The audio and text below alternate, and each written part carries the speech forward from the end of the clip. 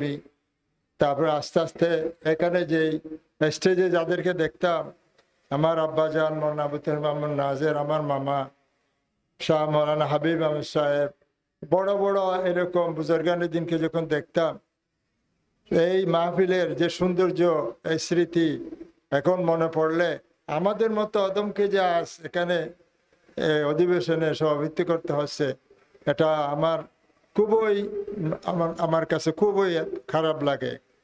তাও তবু আমাদেরকে এই দায়িত্ব পালন করতে হয়, সেজন্য আমরা অনুপযুক্ততা সত্ত্বেও এখানে আসতে বাধ্য। আল্লাপাক আমাদেরকে এইরকম যে একটা মাহফিল দিয়েছেন, সে সেই মাহফিলের স্মরণে আমি কোরআন মজিদের রাইটে তেলাওয়াত করেছি। ও আম্মা বেনামত রব্বিকা ফাহাদ্দিস আল্লাহ পাক আল্লাহ রসুলকে উদ্দেশ্য করে বলেছেন "হে তুমি আমার নেমতের প্রচার করো, প্রসার করো। তো আমাদের আল্লাহ তালা যে নেমত দিয়েছেন সিরুতুল নবী, এখান থেকে আমরা যে ওয়াজগুলি শুনি এইগুলোকে আমরা যদি বাড়িতে গিয়ে আমাদের বন্ধু বান্ধবদেরকে যাদেরকে সাথে সাক্ষাৎ হয়, এই কথাগুলি আমরা প্রচার করলে এই আয়াতের উপর আমল হবে এবং হরদর শাহ সাহেব কেবলা যে উদ্দেশ্যে এই সিরুতুল নবী প্রবর্তন করেছিলেন, সেই উদ্দেশ্য সফল হবে এবং আমাদের জন্য এটা বললি গো আন্নি বলো আয়া, এই হাদিসের মিজদাক হিসাবে আমরা আল্লাহর রসুলের সন্তুষ্টি অর্জন করতে পারব এবং আল্লাহ তালার কাছে আমরা অন্তত এটা বলতে পারব যে এই সিরতুনবীর শিক্ষা থেকে আমি যথা, যথাসাধ্য চেষ্টা করেছি। আমি গত বছরও মাহফিলের সময় আমার বিবেক থেকে, আমার ইয়া থেকে একটু, একটা পরামর্শ দিয়েছিলাম। এবছরও আমার একটা পরামর্শ দেওয়ার খাহেস ইচ্ছে আমি রাখতে পারছি না।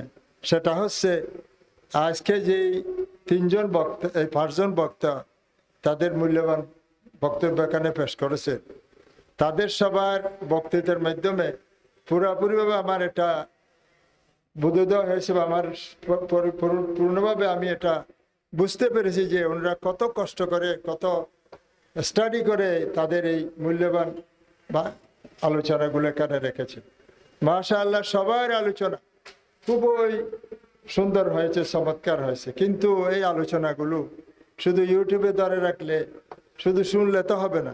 তা আমার পরামর্শ হচ্ছে সিরতুন্নবীর এ সমস্ত আলোচনাগুলো যদি আগে থেকে একটা কপি লিখিত আকারে জমা দেওয়ার জন্য প্রস্তাব দেওয়া হয় তাদেরকে, সিটির মাধ্যমে আগে জানানো হয়।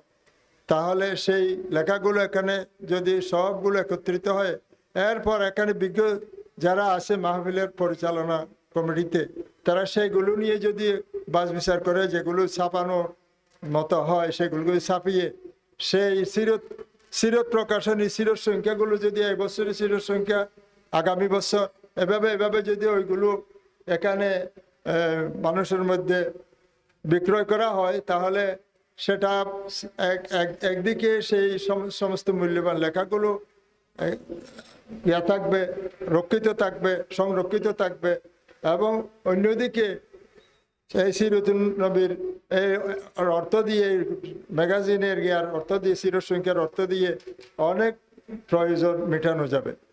আর এইভাবে শুধুমাত্র যদি বক্তৃতা দিয়ে এগুলো আবার আমরা শুনলাম, তারপরে আবার এগুলো চলে গেল তাহলে কতটুকু লাভ হচ্ছে সেটা অবশ্যই বিবেচনার বিষয়। বক্তাদের মূল্যায়নের ব্যাপারে আমার আজকে কোনো এমন কিছু আমি ওদের ব্যাপারে বলতে পারছি না যে ওনাদের বক্তব্যের কিছু ত্রুটি বা কিছু হয়েছে। কারণ মাশা আল্লাহ কিছু কিছু বক্তৃতা এমন হয়েছে, যেমন আমার প্রিয় মৌলানা রিদুয়ান সাহেব এবং সর্বশেষ যিনি আসলেন আর সর্বশেষ যিনি আসলেন, উনিও আমার এই সুনীতি মাসারের ক্লাস ফ্রেন্ড হাকিম সা- সা- হক সাহেবের ছাত্র। আমাকে কাল ফোন করছিলেন, আমার একটা ছাত্র যাবে, একটু মানে খেয়াল রাখবে। তো মাশা আল্লাহ তো ওনারও বক্তা, ওনারও বক্তি- বক্তব্য। এইগুলো এত সুন্দর, এত জ্ঞান গর্ব, এবং এই তো আলোচনারগুলো এতই প্রায় হৃদয়গ্রাহী হয়েছে। যেগুলো ভাষায় ব্যক্ত করা আমার জন্য সম্ভব নয়। আমি আমার অন্তরের অন্তঃস্থল থেকে তাদের জন্য দোয়া করছি এবং এই মাহফিলে আমাকে আজকে সুযোগ দেওয়ার জন্য মাহফিলের পরিচালক বৃন্দের কাছে আমি কৃতজ্ঞতা জ্ঞাপন করছি বিশেষভাবে শাহ সাহেব কেবলা রহমতুল্লাহ আলাই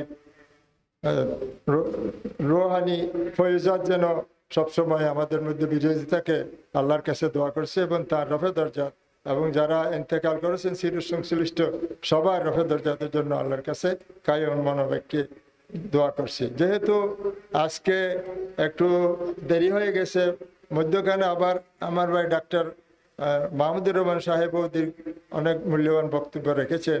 তাই আমি আপনাদের কষ্টের কথা বুঝতেছি সেই জন্য আমি আর দীর্ঘায়িত না করে আপনাদের কাছে দোয়া চেয়ে বিদায় নিলাম। আসসালামু আলাইকুম রহমতুল্লাহ বরকাত